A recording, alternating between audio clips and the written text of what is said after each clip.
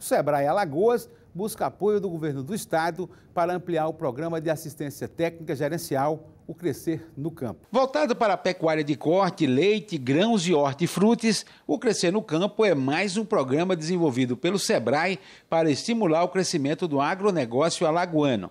Na pecuária de leite, o programa atende produtores que tenham propriedades em Alagoas e faturamento bruto anual até 4 milhões e 800 mil reais ou produção de até 10 mil litros de leite por dia.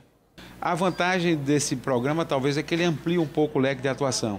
Você já tinha um balde cheio, que é uma metodologia que deu muito certo, e aí pela tela ali a gente está vendo que além do balde cheio, é, tem vários outros campos de atuação que passa pela indústria, transporte do leite, até para um ambiente legal.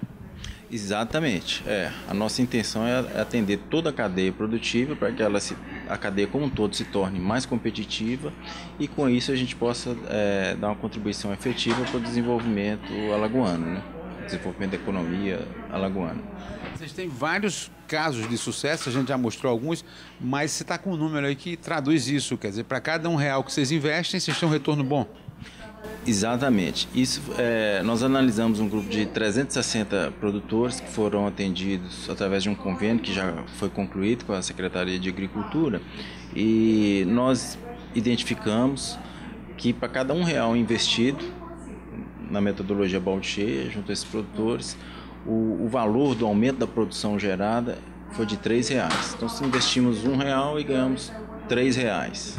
O objetivo do programa é atender principalmente os pequenos produtores do estado, que passaram a enfrentar maiores dificuldades em função da seca dos últimos anos. Para a gente atender o produtor com essa metodologia, o Sebrae bancou 80% dos custos da consultoria e o produtor tem que pagar 20%. Esses 20% pode ser ainda parcelado em 10 vezes.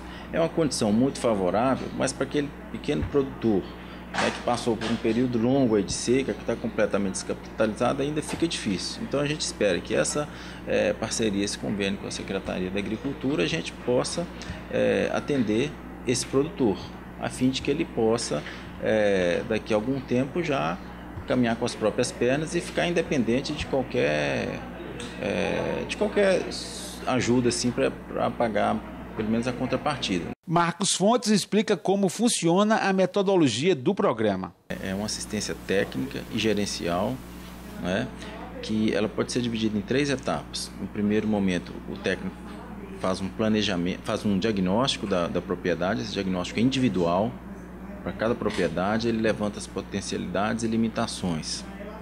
Né, em termos de, de pessoal, de, de, de questão de solo, de clima, de, de infraestrutura, de maquinário, instalações, etc., e dos recursos humanos também da propriedade que a propriedade dispõe.